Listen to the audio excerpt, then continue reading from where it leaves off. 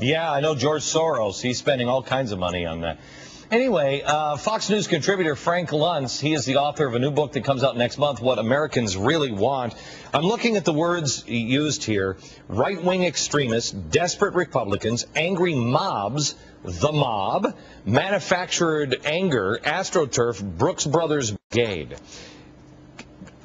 I, I, don't remember hearing these words coming uh, from the Bush White House, and I'm not a defender of the Bush White House by any stretch of the imagination, but I don't remember anyone saying anything like that coming out of George Bush's um, uh, you know realm. There are political hacks that said some awful things, um, but this, really, called Democrats Glenn, mobs?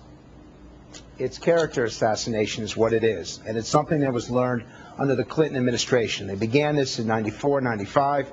We saw this with the whole Monica Lewinsky thing when anyone who said, hey, what happened here, if you challenged the Clinton administration, they went after you, they went after your family, they went after your business.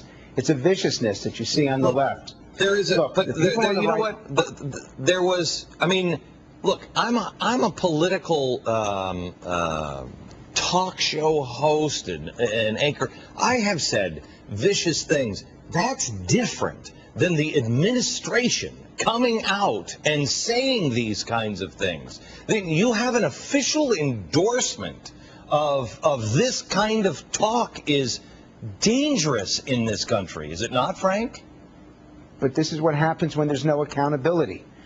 The Republicans are so weak in Washington that it is so hard for them to hold the Democrats accountable, and the American people are legitimately afraid. They're scared that they're going to lose their freedoms. They're losing their economic freedoms over the past six months, and now they're afraid that they're going to lose their health care freedom, and that's what generates this passion okay. that I've seen all across the country. So, Frank, help me out. Um, you've been to these town halls, right? Or you've been to some of these meetings? Have you not?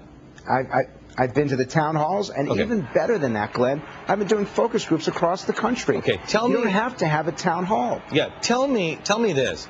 You notice the people who are angry are they GOP supporters? Because the people that, that I personally know, they're just as pissed at the GOP, if not more. The angriest people are actually those who define themselves as independent. Yes. Neither Republican nor Democrat. They call themselves conservative, but that's because they just want to protect right. the freedoms that they have right now. And for the comments of people like, like actress Janeane Garofalo, it's hateful.